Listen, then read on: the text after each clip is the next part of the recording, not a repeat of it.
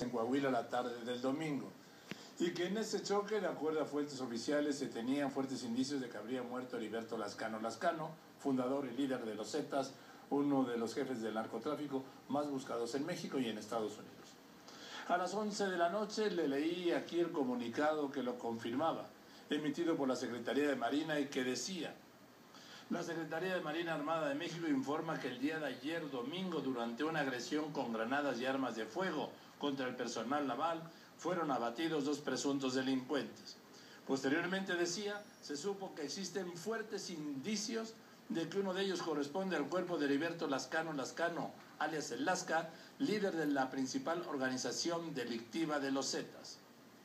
Agregaba el comunicado de Marina que el día de ayer, refiriéndose al domingo, aproximadamente a las 13.30 horas, en atención a diversas denuncias ciudadanas, se tuvo conocimiento de que personas armadas, integrantes del crimen organizado, se encontraban en el área de Progreso en Coahuila, procediendo a efectuar un patrullaje por el área a fin de verificar la información. El personal naval, al circular en vehículos oficiales en esas inmediaciones, fue agredido con granadas desde un vehículo en movimiento, razón por la cual se procedió a repeler la agresión habiendo resultado herido por proyectil de arma de fuego un elemento de esta institución con heridas que no ponen en riesgo su vida. Durante este enfrentamiento, seguía diciendo ese primer comunicado anoche, dos presuntos delincuentes fueron abatidos, asegurándose además dos armas largas, un tubo lanzagranadas con 12 granadas, además de un tubo lanzacohetes con dos cohetes, cargadores y cartuchos para arma de fuego diversos. Y agregaba la Marina anoche. Los dos delincuentes abatidos y el material asegurado fueron puestos a disposición de las autoridades locales correspondientes. Y añadía, se obtuvo información que una vez que se realizaron las primeras pruebas forenses correspondientes, se alcanzaron indicios que señalan que uno de los cuerpos es de Heriberto Lascano Lascano, alias el Lasca, líder principal de la organización delictiva de los Zetas. Y finalizaba anoche su primer comunicado asegurando la Secretaría de Marina está en coordinación con las autoridades del Estado de Coahuila y al tanto de las conclusiones del análisis pericial correspondiente. Así terminó anoche el noticiero con esta información dada por Marina. Pasada la medianoche se informó y le informé que los cuerpos de las dos personas abatidas en Coahuila habían desaparecido. Eso se lo informé a través del Twitter, lo que fue confirmado hoy por la Procuraduría de Coahuila. Antes de que la Procuraduría de Coahuila confirmara esto del robo de los cuerpos, la Secretaría de Marina esta mañana difundió otro comunicado confirmando ya la muerte de Lascano Lascano. La Marina confirmó que los indicios señalaban que uno de los cuerpos era el de Lascano Lascano. Dijo que al realizar una búsqueda en las bases de datos dactilares de las huellas de dedos pulgar, índice y medio tomadas de la mano derecha de uno de los criminales abatidos, se obtuvieron los siguientes datos.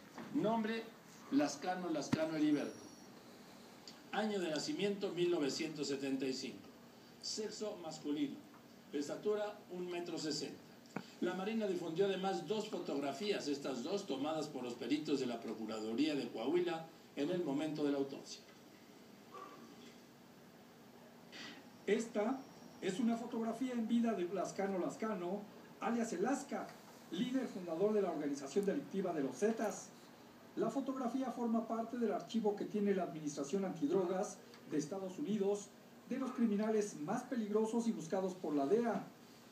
En ella se observan sus rasgos fisonómicos.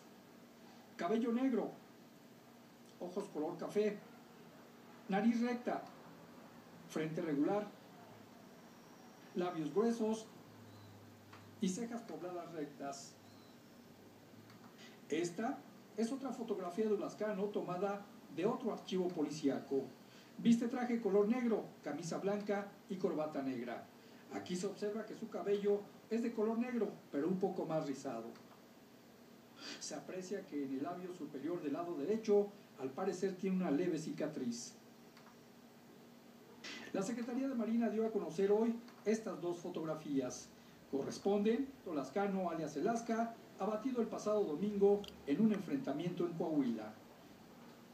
Observe estas fotografías, en vida y muerto. La Secretaría de Marina señala que al realizar una búsqueda en las bases de datos dactilares de las huellas de los dedos pulgar, índice y medio tomadas de la mano derecha de uno de los criminales abatidos el domingo pasado, se obtuvieron los siguientes datos demográficos. Nombre, Lascano, Lascano Heriberto. Año de nacimiento, 1975. Sexo, masculino. Estatura, 1,60 centímetros. La Secretaría de Marina dio a conocer, por otro lado, que el análisis de las imágenes fotográficas del criminal abatido muestran que los rasgos fisonómicos coinciden con los de Heriberto Lascano Lascano. Con la información disponible y las muestras recabadas durante la necropsia de ley, se continúan haciendo las pruebas periciales correspondientes, informó la Secretaría de Marina. Jesús Cárdenas Jiménez, Noticieros Televisa.